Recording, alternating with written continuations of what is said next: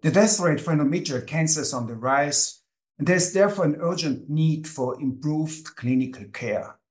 My name is uh, Christian Marth. I'm a gynecologist from the Medical University in Innsbruck in Austria. And today we will summarize the current treatment landscape in advanced endometrial carcinoma and discuss how to optimize treatment selection.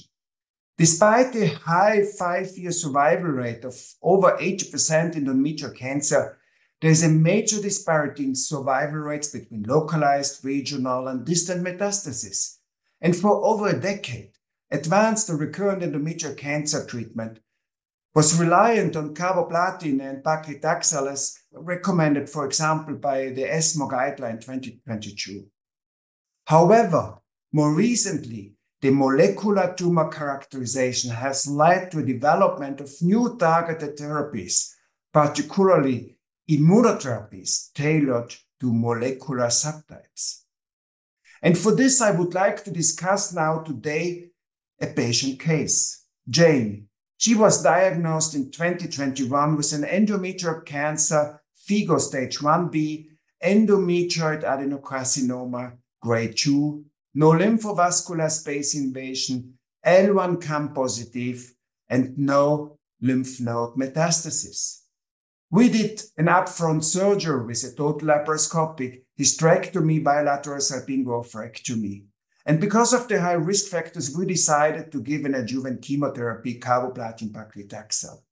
Unfortunately, the patient progressed three years later and developed metastasis in liver and lung.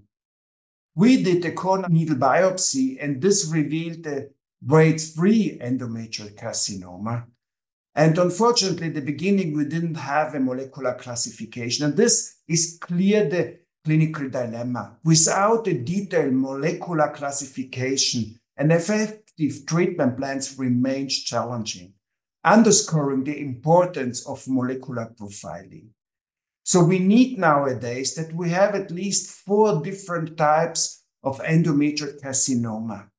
On one side, we have the mismatch repair deficient tumor we have the POLE E mutated tumor, the P53 abnormal, and the no specific molecular profile, the NSMP. These subtypes are determined through immunohistochemistry stains and for the POLE, a sequencing of the exonuclease domain.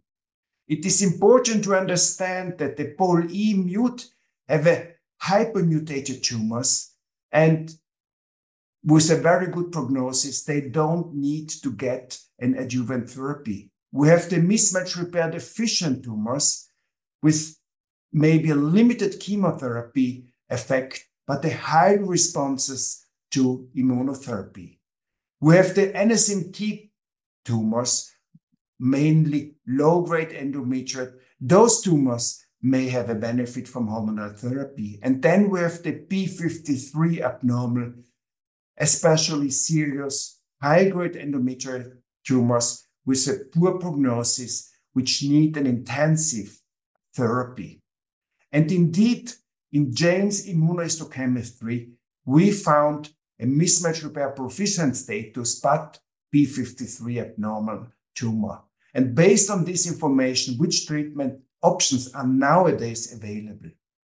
We know from several trials that the addition of immunotherapy to the standard of care, carboplatin paclitaxel, improves progression-free survival. We have the RUBY trial with dostarlimab, improving the progression-free survival from 19% to 28% after two years with a hazard ratio of 0.76. Also, the NRG, energy Dwight 18, also improved progression-free survival by the addition of pembrolizumab with a hazard ratio of 0.54. But not all immunoagents work in the same efficacy. We saw the AtTEnd trial with no difference.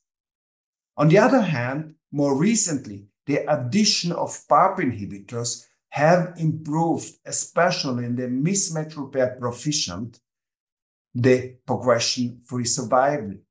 The DUO-E trial in the combination of durvalumab and olaparib showed a benefit in the mismatch repair proficient group, and this resulted also in an approval. Very similar results have also been obtained by the RUBY trial with dostarlimab and niraparib. However, there is also another option. We know that the combination of lenvatinib and pembrolizumab has shown an improved progression-free survival and overall survival in pMMR subgroups in the second-line setting. And this was also translated now in a first-line setting in the LEAP-001 trial.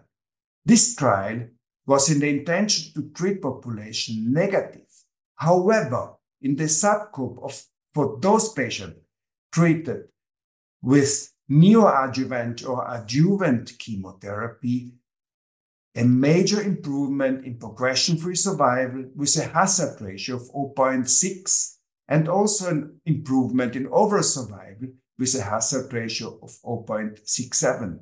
So the median progression-free survival was increased from eight months to almost 13 months, and also overall survival was increased by more than a year. It is critical to help patients to understand their molecular subtype and its influence on treatment options. Nowadays, providing a simplified explanation of the molecular characteristics and their impact on treatment selection can empower patients to make informed decisions and build trust in medical teams' recommendation. This is essential to discuss especially potential side effects of these new treatments, particular with chemotherapy option such chemo plus checkpoint plus uh, PARP inhibitor, or also in the combination of lenvatinib and pembrolizumab. This transparency ensures patients can weigh the pros and cons and remain committed to their treatment plan and engage in shared decision making.